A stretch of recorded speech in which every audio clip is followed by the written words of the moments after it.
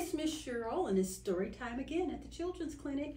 I have a great story for you today. I was just looking at this book, and it is called Oliver the Brave, Defender of Children, Destroyer of Cancer. And this is a book about fighting childhood cancer. It is written by Lynn Faherty, and it's quite exciting. And we're going to begin our reading. You're going to. Gonna love it. I missed you guys. Oliver the Brave.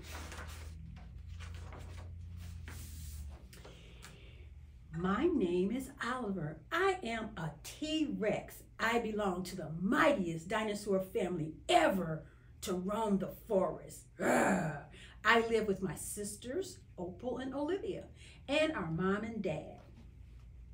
Got a nice family.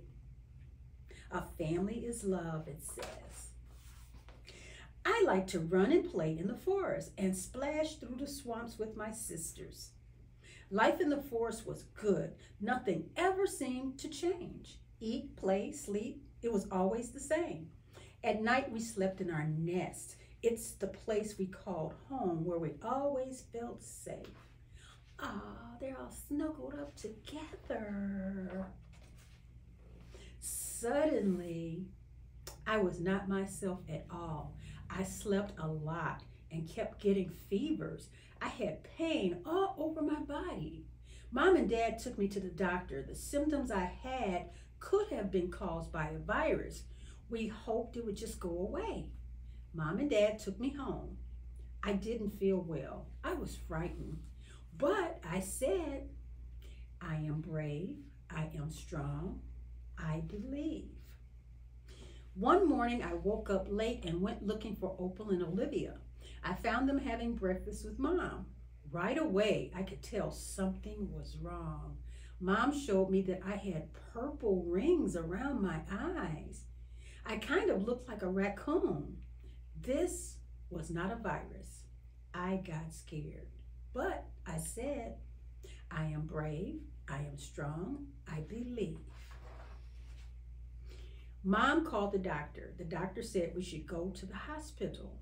The hospital was like a big doctor's office with lots of rooms and people rushing in and out. I had an exam.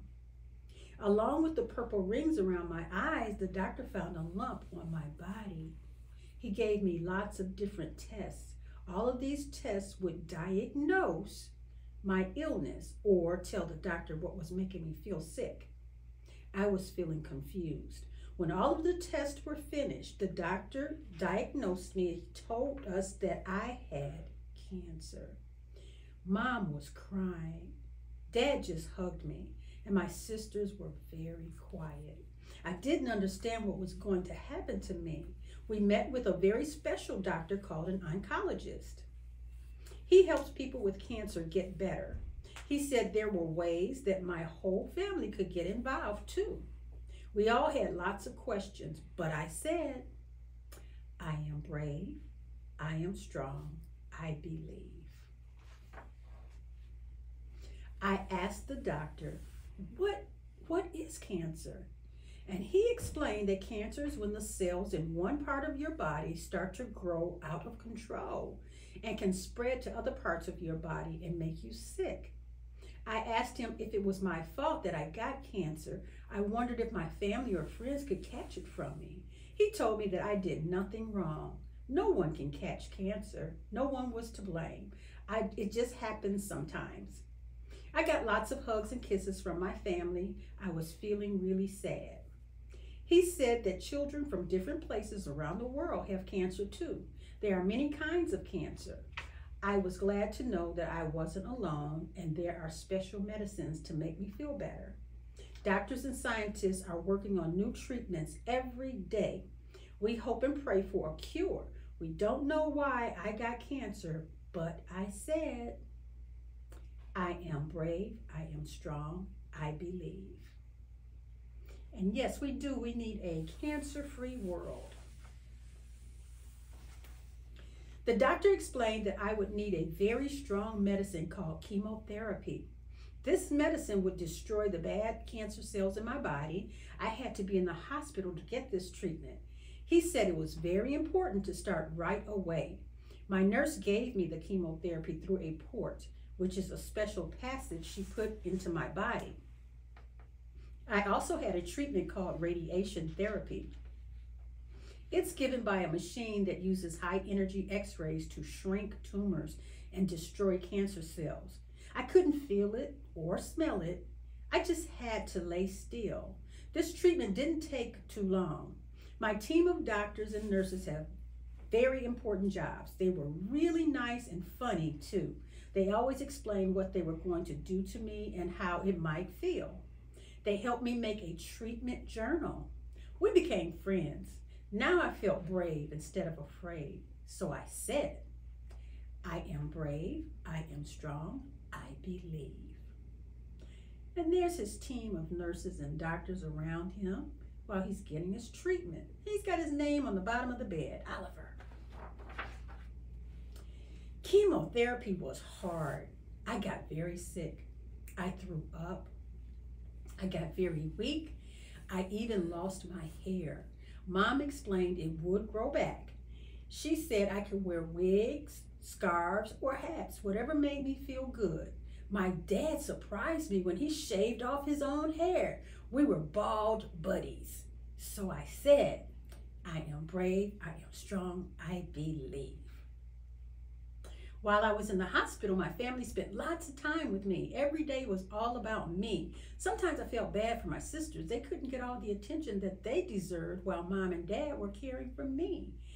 I was given so many nice cards and gifts. Many people prayed for me. Mom and dad never stopped telling me how much they loved me. Everyone was so proud of me for being such a fighter. They said I was their brave warrior. I fought really hard to get better, so I said, I am brave, I am strong, I believe. And look at all of those get well cards and family together. We can do anything, believe it, strong, brave. But That's awesome. Everyone was very kind to Oliver. Let's turn the page. I learned that every cancer is different. Every patient gets a special treatment plan. I was given a test on my bone marrow, that's the stuff inside my bones that makes my blood cells. My doctors thought it would be a good idea to save my stem cells. These cells grow into the three types of cells that make up my blood. They took out my stem cells and saved them until all of the cancer cells in my body had been destroyed. I had to have more chemotherapy. I got very weak. My family cheered me on. I knew they were worried, but I said, I am brave.